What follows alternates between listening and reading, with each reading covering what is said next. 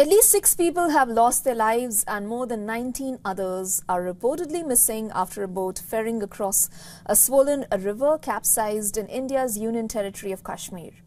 Rescuers, joined by marine commandos, continue to scrambling to find survivors in rubber boats as hundreds of worried and mourning family members gathered at the riverbanks after the incident.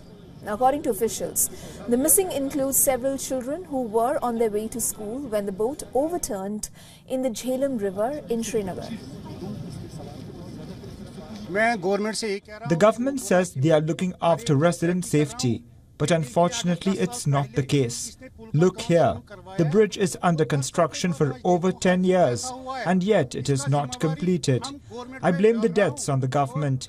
They are responsible for it. I appeal to the MLA to come here and see this and take responsibility. The river was swollen following days of incessant rainfall across the Himalayan Kashmir Valley.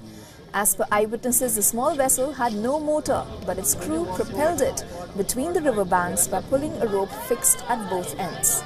Witnesses added that the rope snapped due to the force of the fast-flowing water, crashing against a pillar of a partially built footbridge nearby. In Srinagar, many office workers and school children take the boat across the river in the morning to avoid road traffic. For more on this, our correspondent Idris Lone has sent us this report from Srinagar.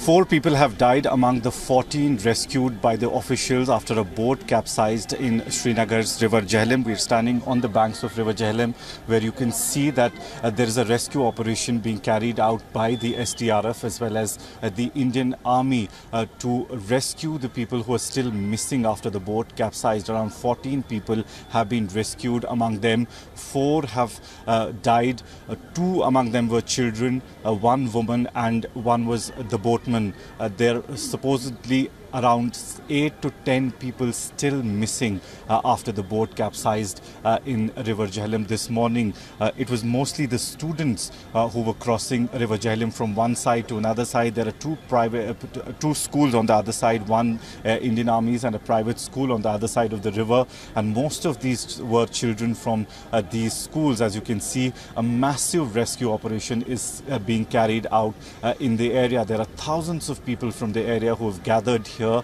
after the tragedy struck uh, early this morning uh, in this area. And most of these students especially live in these areas and were crossing the river. from the last two days, we've seen a lot of rains lashing the whole of the valley, after which the level of water in the river has also come up, which could be one of the reasons for the boat to capsize. We're being also told that there was a rope attached from one corner to another corner which broke uh, and was also a reason uh, uh, Uh, after which the boat basically uh, got struck with with the uh, under construction bridge and it broke down after which uh, all the people who were on the boat uh, drowned in the river Jhelum. 14 people have been rescued so far, four dead among them, while as 8 to 10 people still missing. With video journalist Irfan, Idris Lone for WION World is One. For all the latest news, download the WION app and subscribe to our YouTube channel.